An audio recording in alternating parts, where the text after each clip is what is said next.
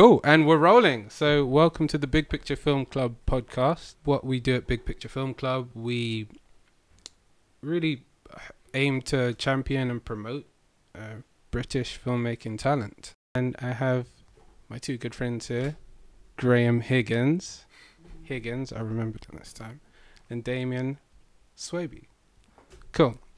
Uh, both of you guys are directors, writers, and producers. Would it be fair to say that? And I know Yeah. you do a bit of acting as well. Yeah. Um, uh, and I know you're um, so like me and uh, Damien go way, way, way back, uh, six years or something like that. Yeah, about that. Yeah. Um, so uh, I know that you do a variety of like short films, social commentary, uh, music videos as well. And Graham, we uh, well we screened um, your film Mile End uh, with us, and uh, actually, can you tell us about how that's going and like, what's Yeah. Um, so uh, Mile End's an independent feature film shot in East London, and uh, it's about these two guys who are both unemployed and they they meet while they're out running and they become like running mates. And it's a psychological thriller. It's at the time of the financial crisis, and things take a darker turn when a young banker is found murdered, uh, and the film kind of takes off from there. Um, so it was all shot in East London, and uh, you know, it was a kind of very low budget film, but it's it's done really well. It's been uh, in festivals all this year and last year. It's been in about a dozen festivals, and it's won six awards at festivals, uh, three for best film. It's also won awards for the music and the cinematography. wow So uh, yeah, it's it's one of those projects which is kind of labour of love, and you start off doing it really small, and then it kind of gets a bit of momentum. You get people on board, and it's you know it's gone way beyond what I I thought it would be. You know, so um, and it's being released uh, for video on demand uh, in the UK and USA on Flix Premiere wonderful Um, wonderful. exclusively. Uh, We'll add a clapping noise to the podcast at some so point. that's on the uh, the fifth, the Saturday the fifteenth of April in the UK Yeah. and Friday the twenty eighth of April in the USA. Uh, and it's it's particularly good it's on in the USA because one of my lead actors, Mark Arnold, is an American actor who's based in London. So- okay. and he's a he's an amazing actor, really experienced, and uh, so I was very lucky to get him to do the film. Uh, and he kind of yeah, he's really good in the film. Um, so it'd be great for a lot of people in America to be able to see him, to be able to stream it. Awesome. So there you have it, folks. Tune in and uh, get Flix Premiere and watch Mile End. I r- really recommend it. Um, it's, I mean, you say you say quote unquote low budget, but I think it's it's very it's a very well to- told story, very well produced. Um, yeah, uh, uh, um, um, tip my hat off to you, and like I'm just happy that like us at Big Picture Film Club we could screen it. Yeah, And, it's uh, yeah. Damien, uh, what can I say? We haven't actually seen each other for um, Maybe two years. yeah, yeah. I think it's about two years. Yeah. So I mean, what, what's uh, in as far as like your the the film world? Like, what's been up behind the camera? Well, I've been uh, last year and this year. I've been doing mainly documentaries. Yeah. Um, I've got my Black Lives Matter UK documentary Oh wow, coming out in the summer. This summer, yeah, and I'm doing another one about Trump and his um, the special relationship between America and England, yeah, awesome. and one about Brexit. That'll be out a year after we voted out. Wow. Okay. Yeah. So I mean, as far as when you're tackling these big public issues and these big questions, I mean, how are you? What is your thought process going into filming it? Uh, as far as or how how do you plan how or do you plan how it's gonna you uh, plan to produce the film or you just kind of let nature take its course and if you see one person and you have an interview with them and they're like uh, i believe xyz and then you just keep that in or Oh yeah, I'm very open. Like I, my Yeah. main thing is um, to come outside my. Well, I'm not. I'm not. I don't really live in a bubble particularly, but I come outside my bubble. Come outside the people I would usually talk to. um, places I'd usually go and get a, a, a very wide scope of opinions Yeah. to make it um, an honest documentary and to make um where they should be. They should be they sh- well in my opinion sometimes they shouldn't be opinion pieces. Yeah. They need to be they need to reflect what is actually happening and what people are thinking and how they feel. If you can just talk closer Sorry, to the mic. so how sorry. they how they feel. Um, yeah, so I don't really have a plan as such. I, I, I kind of just have my technical plans and my technical viewpoints on how to get things done, my workflow. Yeah. But I kind of go go with the flow, making it, making them. Okay. Um, and uh, this is kind of a question for both of you guys now. Um, so you kind of you both, you know, obviously you both do film and kind of both do go about it in different ways. But as far as uh, like funding for films, that's obviously a big challenge, micro budget or not. Yeah. Um, I, I guess how have each of you found it? Have you like uh, have you uh, like done like a, a GoFundMe or Kickstarter sort of campaign, or is it all out of pocket stuff, or do you get private investors in, or At the moment, for those documentaries I mentioned, uh, I fund them myself. okay, But for other documentaries, they've been more kind of corporate or, um, you know, for like a aerospace company or something like that. So Oh, it's wow. like it's more Cool. of a case of like a paid job rather than yeah, fund me to make my project. yeah, yeah, But. I'm definitely um, probably 2019. I'm going to look into different ways. That's for sure. Yeah, and Graham, how about yourself? Because obviously, uh, particularly with Mile End, because that's that's a feature, and uh, I, Yeah. I, sup- I suppose there's a lot more, there's a lot more demands technically i- i- that Um, goes into producing. Um, I think when you're making a feature. feature. at this level, it's it's like guerrilla warfare. Really, you're you're just trying to pull in everything you can to do it uh, the most economically you can. I mean, I didn't do a Kickstarter or, um, and the reason I didn't well, there's probably a couple of reasons. I think first of all, I I didn't think I had a big enough network of people to do a Kickstarter. Uh, I thought I could probably raise a f- you know few grand and and the time involved and the energy.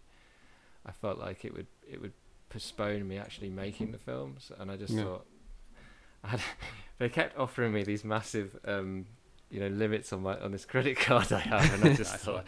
I'm just going to use it, and I and I did Ah. that classic thing that you know independent filmmakers always do is they just put it on the credit card. You know, Ouch. um, and the, the other thing is as well, I think it's funny when you're younger and you're you haven't got as much of a, a career established. It's harder to borrow money, but as you, you know, once you go, I've got a, I've got a, a job that I, my full time job as Yeah. well. So I mean, you just have more ability to borrow money, and uh, and I'm hoping now when the film's released, I'll, I'll get some of my money back. I mean, I, it, I think it's possible I could get it get a return on my investment yeah. uh, if the release goes uh, as hoped.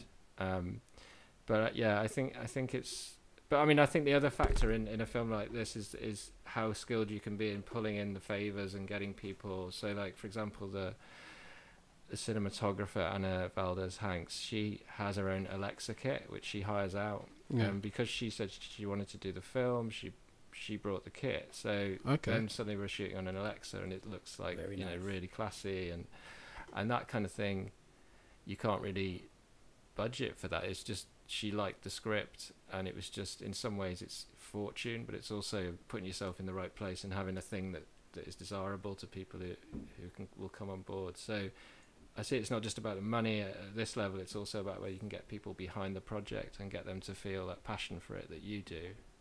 And then, you know, you, you do find that things start to happen that you wouldn't have thought you would, would be possible. Um, same goes for the actors, actually. yeah. Um, the caliber of actors you can attract if, if yeah. And we're taking a brief intermission. so, Alright. Uh, rolling now. Got an- And we're thing say. back with the Big Picture Film Club podcast. Um, actually, I wanted to um, talk to you. Like we spoke about, um, obviously funding for films. Um, have either have either one of you, or have it, has it thought has it gone past in your mind to kind of uh, uh, look for film grants? Because I know particularly with like BFI or Film London, Well, I have, but they they seem to um. or is that uh, for whatever reason you haven't It it just hasn't worked out or it just seems they want obviously well they're giving the money, but it just seems like the type of control and restrictions and, Okay. and things that they that they want. Um, like you, I may be wrong, but I think I read in one of them like you have to have a producer with your, um, you know, when you apply for funding yeah and um, you know things like that. I mean, like I could I produce my own stuff, so maybe in the future I'd work with a different producer or a better producer or an established producer. But it's, it just felt like there's a lot of restrictions when you go for grants. yeah Um, but who knows in the future, innit? Graham Uh, I've Oh. had uh, funding in the past. I, uh, I'm from Liverpool originally, and I made a short. It's quite a few years ago now, but it, was a ten-minute short, which I shot in Liverpool and got funding from National Lottery and from a local agencies in Liverpool. And the whole theme of it was very based in Liverpool. So, um, but and then I later moved to London. I, I just found it much harder to get that kind of funding. I think there's it's so much more competitive in London. There's so many people making So films, many. and I think also what's changed now is the technology's changed a lot. That you can just go out and do something now. So uh, it it just I just have this feel that I get quite impatient and I just want to do the thing, Yeah, and yeah, I don't want to spend the time doing applications and then waiting because all those things set you back waiting and I, I kind of you've got to decide I think whether you just want to you know how passionately you want to get on and do this thing or you or you're going to do that route of of you know it's like with fe- feature scripts in development you know, they can just take years in Yeah. development and people are, producers are waiting for these projects and Yeah. that must be so I don't know how they cope with that because Mm. that's you watch your life just Yeah. kind of ebbing away with this thing you're burning to do Um, yeah, uh, sorry, you actually touched on the issue. Well, you touched on using technology and how that's kind of evolved in your filmmaking. Um, one thing I, um, one thing I, I've seen more prominently is like filmmakers shooting on iPhones, even, Yeah. and kind of obviously not a stock lens, but like with a clip-on lens or like Yeah. an adaptation. Um, as far as producing your films does, um, I mean, how much thought do you put into the the technology you have available to you in terms to, Oh, to 100%. You know, I'm always thinking about the technology available because of the pace, it, the rate it moves, um, and your workflow and the ability. I mean, the cost. When you think back before this digital era, people like Roger Corman, how they used to make films, and what we've got now, yeah it's just unbelievable. I mean, it's literally um, uh, for my iPhone. I've got a 50 millimeter lens, a telephoto lens, um, a zoom lens. You know, uh, and you can just go out. You can get a Filmic Pro app. I could shoot something now and edit it on my phone on the way home yeah and put it up on YouTube. So you know, I haven't done that, but I, it's it's it's an option. So I think it's all great. I mean, have you ever yourself thought about using your iPhone for anything? Um, see, I, I, also run um, um, a little um, uh, health and fitness company called ZFit Health. Hmm. So we sell health and fitness products, and uh, for that, uh, for like Instagram, I've been uh, doing like um, I'm currently on like a hundred day fitness challenge. Nice. Um, so I'm on day like 93 at the moment. So yeah. Um, and um, so for Instagram, I put like I, I just like using iMovie. That's Yeah. very simple to create like very short pieces, for example. Uh, but I, to the extent of creating like a short film on, I, I, I, I don't think I could. Because I, I think Not for the sorry, not for the technology reason. As in, I, I don't think I'm a, a film producer in that sort of regard. yeah. Yeah. But there's a lot of restrictions with iPhone technology as well. yeah. I mean, you can um, memory wise, you know, Yeah. you're not going to have the, the memory of a, a mirrorless camera or DSLR or something. But if you wanted to make one minute videos, I think they're brilliant. If that if you didn't have anything else, you know. Yeah. I think it depends on the kind kind of film you're making. I mean, I can imagine like for a fly on the wall kind of documentary, Yeah. an iPhone would be brilliant because it's so Mm. unobtrusive. And if you were trying to go to a place where people were going to be more self-conscious, if you take out a big camera, you know, it has Yeah. its real advantages. You might get much better interviews You did right. on an iPhone because the people aren't as intimidated by the Big shoulder cam. Yeah.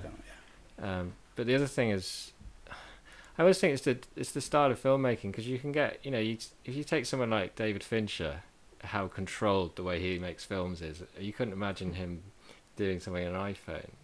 Uh, and other films are much more like the the camera observes and it and it it's almost like a witness to something and Yeah.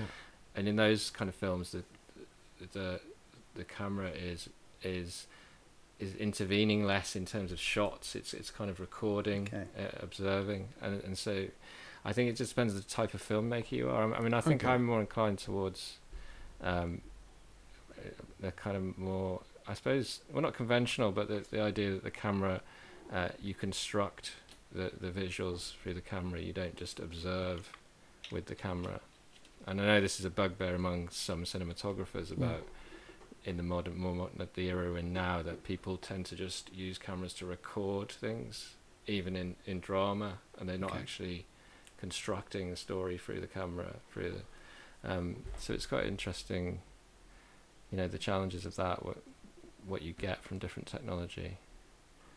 Okay, I'm keen to know, given that, um, yeah, given that both of your thoughts on uh, filming technology, when you are making, when well, when you were making Mile End and when you are making your you know shorts, your documentaries, um, do you have it in mind how you wish the film to be viewed? As so, like uh, when you're making Mile End, you might make it primarily for an audience in the cinema.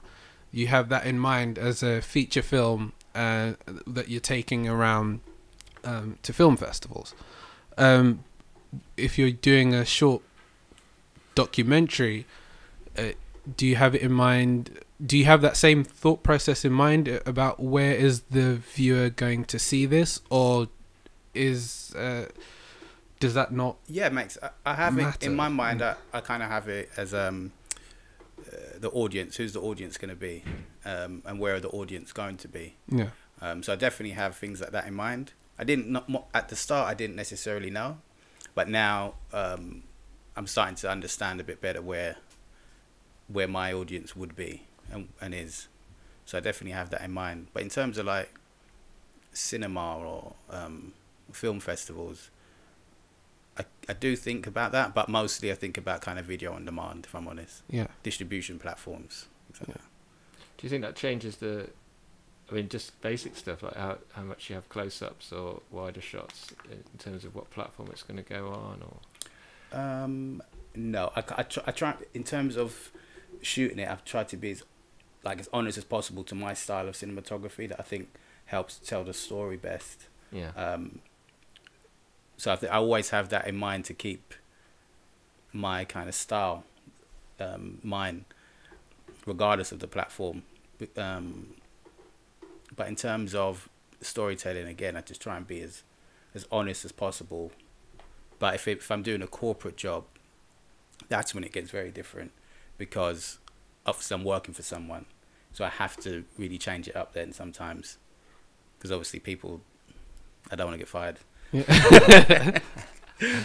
yeah. I think the DSLR. I mean, I use a DSLR in my day job yeah. doing corporate stuff, and uh, used to use like camcorders in the past, and Yeah. and now it, everyone's just so used to that cinematic look, aren't they? And Yeah. it's it's actually if you film something that's not like that, even on a corporate thing, it feels They're not uh, happy. It's not as good, doesn't Yeah. it?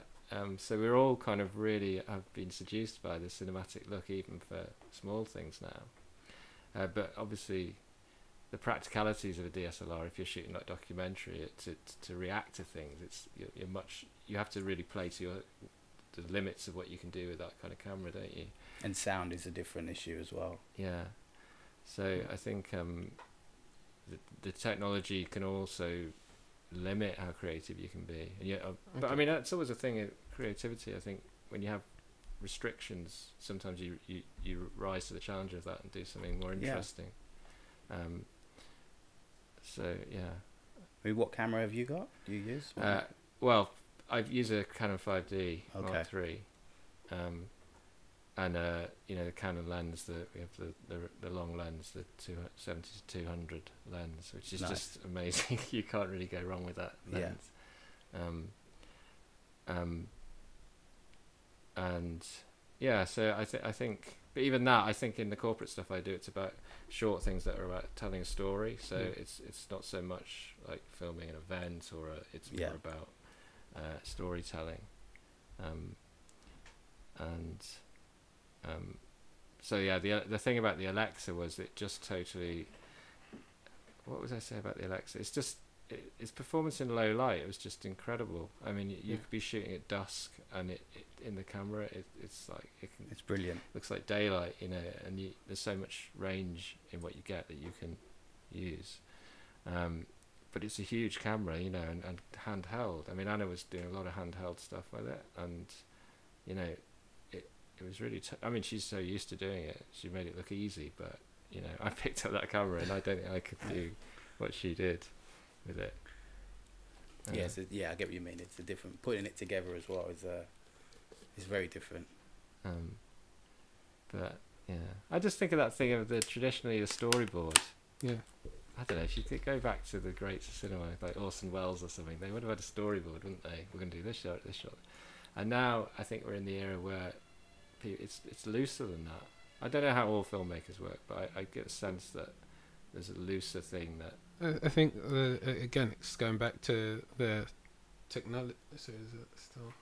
Okay, it's going back to the technology, I, and it, it frees you up to kind of do a shot. You're not kind of loading up big Yeah, reels and stuff. It's like actually if I've if I'm walking around all day and I got you know my DSLR in in my bag and I'm you know making a short uh, clip about you know birds uh, and I, I see a flock of birds I like I can shoot it right now and think nothing of it Yeah. and uh, you know put it on Vimeo the next day uh, once I've done my you know editing easily. Yeah, and um, I, I think from what we've seen at Big Picture Film Club, in terms of what the filmmakers have been able to do with very little, it's creative as hell.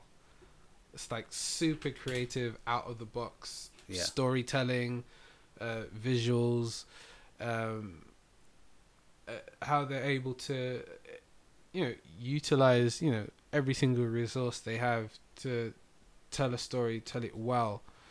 Um, and I think you, you couldn't you couldn't do this 15 years ago.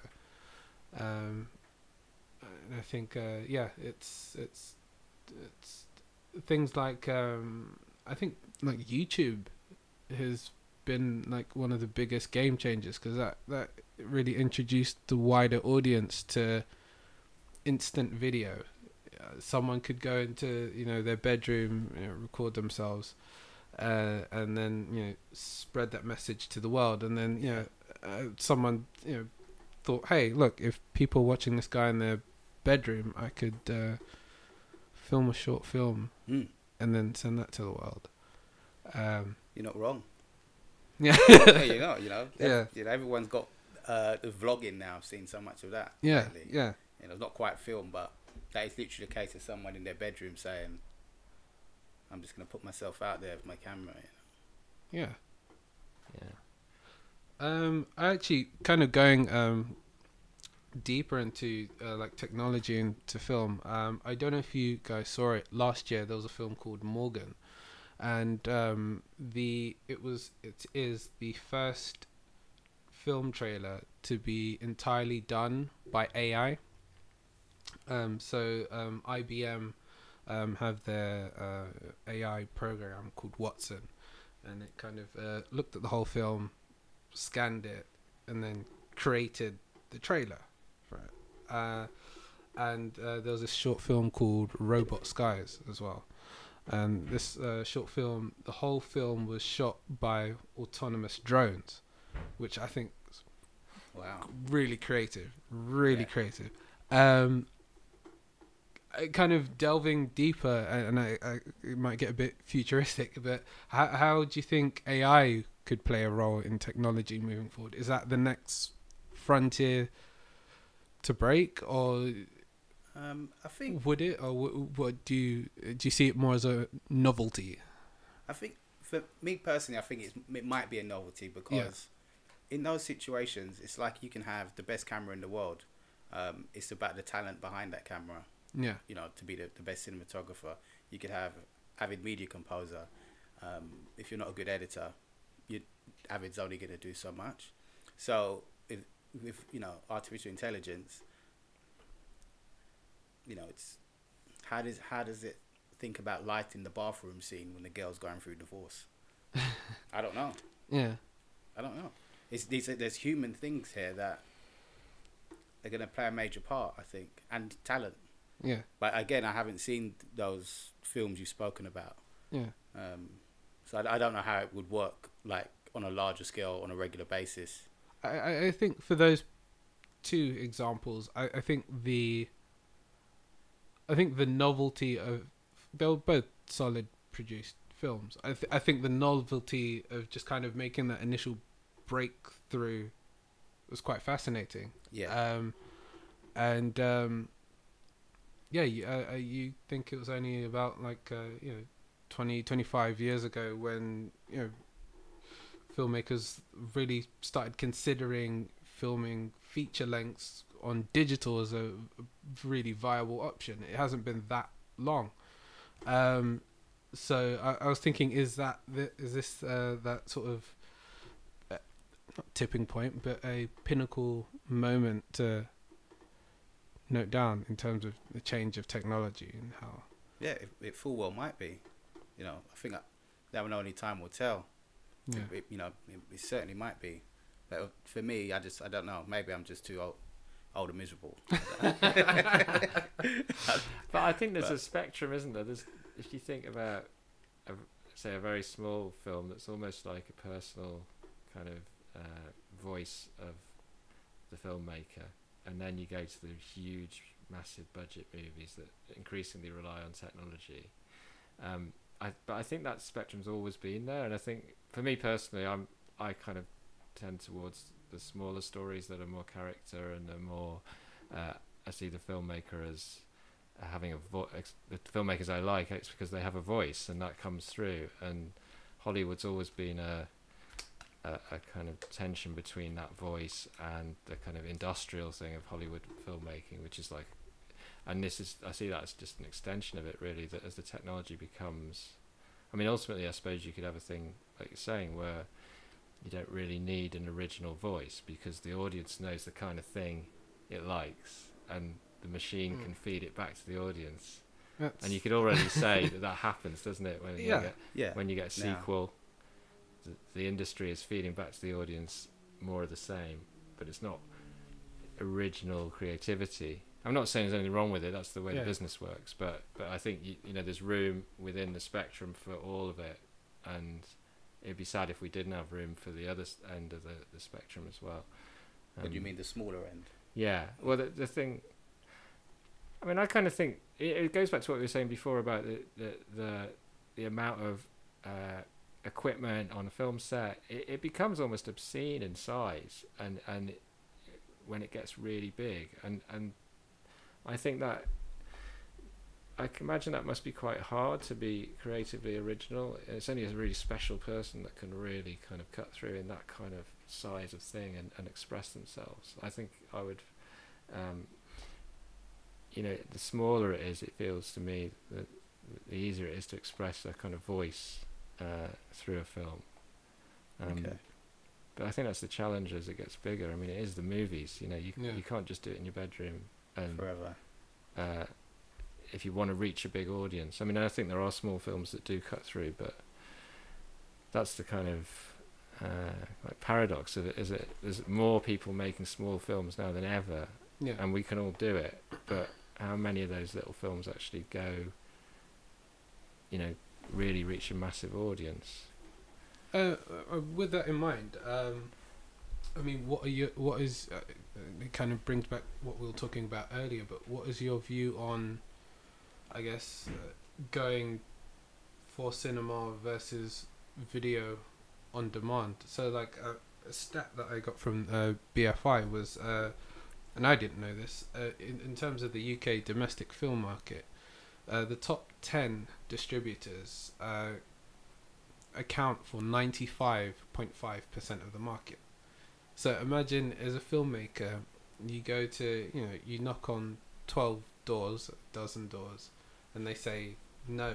uh, effectively, your journey could end right there if you don't have these other avenues to explore. Like, Good experiment. point. Yeah. Uh, I mean, do you do you think um, cinema will always kind of be there in the way that we kind of know it? Um, I, I think there's something. Um,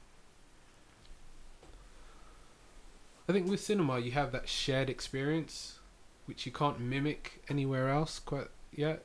You have the detail Yeah. and um, but I, I've seen with the growing amount of filmmakers, you have this other avenue that can cater to them. Um, do you personally prefer one over the other, or you? Or Well, ironically, I went to um, an Everyman Cinema. Have you heard of them? yeah, yeah, yeah. Uh, I didn't. I didn't know about them until we went, and um, it was Yeah. so great. There was no text talking behind me or no one Is it with the sofas Speaking- and yeah, the, the pizza sofa, and the it- they bring the pizza. pizza, don't they? bring the pizza, homemade guacamole. I mean, what more can I want? Uh, so it was a great experience. It wasn't like the previous couple experiences I've had where I've just thought, gosh, I've just paid, you know, and it was weren't a good experience. So Yeah. with with places like Everyman, or if any, there's one in Crouch End now, some sort of picture house, Yeah, yeah, yeah. very nice, you know, whatever.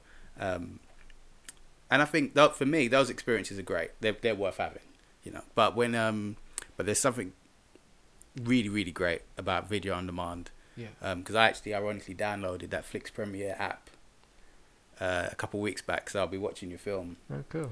um, and that's just great. I mean, I just sat there and I thought I can download apps. Yeah. What's this Flix Premiere? I saw some of the trailers. Yeah, good. I know it's like you see people on the tube watching things they've downloaded, don't Yeah. you? It's changing the whole way people. Uh, I th- yeah, I think. I mean, I love the cinema, and I I would always. I'd love to go. I used to really love going to the cinema, but I don't go nearly as much as I used to, and I think that's partly because I think we don't see the same range of films. I mean, I really like foreign films. I like European films, so. yeah. I used to go and see quite a lot of French films and Italian films, and I don't really see as many of them getting released uh, these days in cinemas. And I think it's just the whole video on demand and all the Netflix and all the Yeah. box sets, the series that people binging on at home. I mean, Mm. Yeah, it it's so addictive and it's so it's so fun, isn't it? I mean, watching a really good long form drama, and I think that's another thing that sometimes I find films a bit unsatisfying because they're not they don't have the same depth that you get in a, a if you've got like twelve episodes of a series. Yeah, You really get stuck into the characters, and sometimes a movie can feel, uh, you know, not as full a meal if you know what I mean. Yeah. Um, um, but yeah, I, I- I think, I think, what do I think? I, I, I just think I, I think the cinema is becoming more like a, a kind of theme park in a way. The the big movies are really taking over, and yeah, like my kids love those movies, so I'm Yeah. not knocking it. You know, it's great entertainment. Um, but that's it seems to me that the mainstream cinema is going more and more towards that, and and the you know, Amazon and Netflix can cater for more niche. Because if you look at something like Amazon, their their whole business model, they sell to everyone. They sell to people who are different ages, different demographics. So yeah, it makes sense for them to make a series that will cater for something that's maybe a, a niche, but it's still a, an audience that are going to pay and watch your product. Funny you say that. It's very Um, responsive. You know? I read on Screen Daily that um, Amazon in the UK are currently accepting um, pitches for TV series, like from independent yeah. uh, writers and producers. nice So, one. uh, yeah, uh, again, I get, that kind of highlights the openness on of video on demand. Um, as far as I mean, do you think there are too many uh, sequels and re-releases of old films? I'm, I'm not the just- biggest fan of the reboots myself. Um, I watched the RoboCop, Okay, I, I haven't. I uh, haven't but and how'd I'm you find such a RoboCop fan. I'm like Mr. RoboCop. So when I watched this reboot, it kind of put the nail in the coffin for reboots now. Yeah. I just think there's so many stories to tell. But again, you know, the audience, there's an audience out there that just seems to love them. Yeah. Um, so if there's going to be Fast and the Furious Part 27, it's going to happen. Yeah. Yeah. I, th- I think that it's it's it's a business thing. I mean, if it's going to sell it, they'll do it. And I, I don't think, I don't really care. I, I mean, I don't think it's my for me to kind of judge and go, oh, they shouldn't do it because I mean, yeah. you know, it's all product. But uh, I think it is, it's definitely going more and more. I mean, yeah, the amount of sequels. The other thing I heard was the uh, the Star Wars one. Someone told me, as a, as an editor, told me that they storyboarded the whole film through sequences from other films. So the whole film is basically, and they did that to prove to the to the, the the studio funding it that this could work as a film. So it wasn't that they were going to copy that as to make the film, but it was to, to demonstrate the the kind of proof of concept of the film. Uh, yeah. But it just shows how referential movies are these days. Everything is feeding off other films, and and I don't even know what original is anymore. I mean, it, it, it's it's. Do you know what I mean? When you watch things and you just think, oh yeah, that's referencing that or similar to that. Um, but you know, I don't think we're uh, in a time now where that's a problem. I think we kind of value that now. Yeah. It's kind of postmodern, isn't it? This whole thing of, um, you know, it's not we're not kind of precious about an idea being totally pure. Uh, and I think actually that's probably always been like that with culture. Yeah, I mean, uh, there's. Uh, I, I would think there's. You know, there's only certain number of ways you can tell a story, but then you have the specific time of that story, the specific place of that story. the- Good point. Your uh, camera angles that you specifically use. Um, but yeah, I I, I, think um, I think that distinction of video on demand for more niche audiences and the big budgets uh, going in cinema that that looks to continue. Yeah. by all accounts.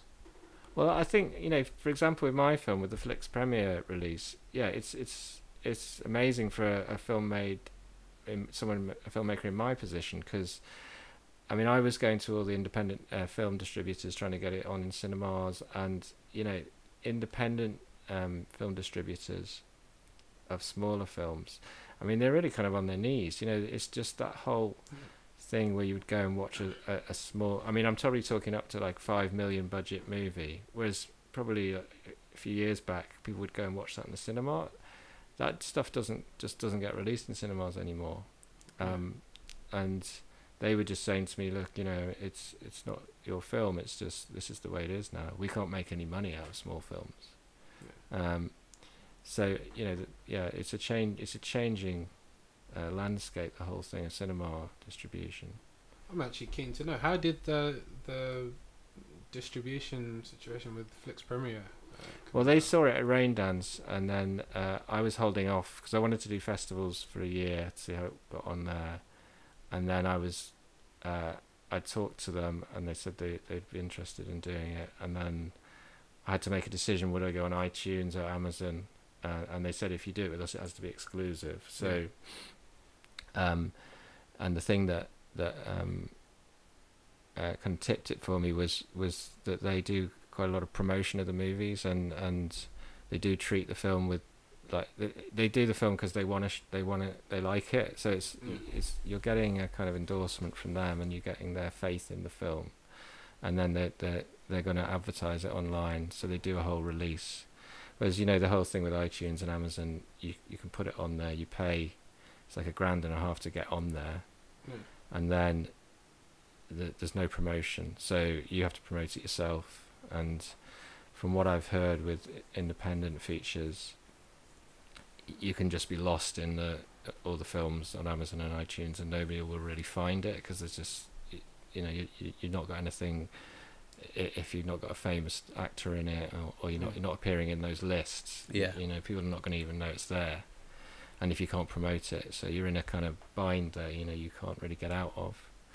So I think uh, these uh, things like Flix Premiere are potentially really good for independent filmmakers because they're, they're going to show a bit more love to your film, you know, and the audience that go to that platform probably go to it because they are looking for something like an independent movie. Uh, and you know, you pay four quid, uh, five dollars in the US. It's not a big amount to, to try something out, is it? No. Um, so I think that's another thing, like you were saying on Netflix, that you you just go, oh, that I'll try that out. It's not because you necessarily think it's going to be an amazing film, but you're just curious, and Yeah, it's not enough money to to stop you doing that, is it? definitely. Yeah, and I think again it kind of speaks to the um, the advantages of uh, being um, yeah uh, being on video on demand uh, um, as an indie filmmaker because uh, yeah as like I was saying on Netflix like I don't I don't know half of the films I'm about to watch on Netflix I just think okay does it kind of fit the genre I want to watch today Mm. are the reviews half good? Let me try it. Like, what's What's what's, to the worst that I, I I haven't spent ten pounds on a single ticket at Yeah. the cinema. It's Took the like- bus there. Yeah. Bought the popcorn. What would you say is the single thing that, that convinces you to watch the thing? Would you say it's the trailer or the or just the concept of a film or? Um, I hardly watch, hardly watch the trailers. It's it's really just the the d- description of the film, Yeah. the genre, and half the time I literally judge a book by its cover. the artwork. Yeah. Yeah, it's true because we got a really cool design for our thumbnail, which is it's like this ink blotch design uh, done by this amazing uh, designer, and um, and it's uh, it's really cool, and I, and it's quite a, it's a, it's not a picture from the film; it's just a conceptual idea of what the film's about, and I think it really stands out. So it's going to be really interesting to see whether that um, attracts people to it Yeah. because you know you do see those images of the floating heads and on the posters you see them so many times you feel like you've seen all the posters before and how Yeah. do you stand out Yeah. so that's a little experiment to see whether that will yeah, I, I think s- certainly, um, you know, when you're, you know, I'm, if I'm going on, you know, Netflix or whatever, and I'm kind of looking through, I've got like twelve films on a, on my screen at once in terms of what I can see or choose between. Just whatever picture looks Yeah. half definitely. interesting, I'm yeah. gonna at least click in to Mm. investigate more. yeah So I think artwork is. that's interesting important. about the trailer though because yeah you kind of assume that the trailer's the the thing but Uh, uh, for point. me, I think um, if it if a trailer comes up on my feed on my social media feeds, then I might click onto it. Uh, Yeah. If like a friend of mine has retweeted it, or if it's come from like a, a news or media outlet that I kind of follow.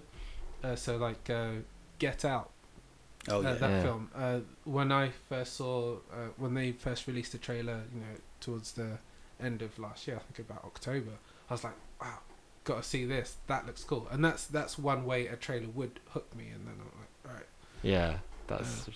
really taken off hasn't it Amazing. yeah. amazing Actually, I do need to s- still need to see that film. Yeah. Um, yeah, that's interesting. I think the yeah the whole social media thing it, that that's a huge endeavor as well. Getting your stuff promoted, promoting it on. It's a lot of work to do that, and uh, um, It's a lot of serious work, isn't it? It's bigger than ever now. yeah, I think you can. Yeah, Mm. it, that's that's quite a challenge. It's a job in it. itself. Yeah. Like, Yeah. uh, just to doubt. kind of you know you have you know, uh, PR agencies and marketing agencies that kind of for obviously the you know, bigger production companies Yeah. manage whole social media pages. so- When to post and what to post and for why and Yeah. for what platform, how it differs. Yeah, I think.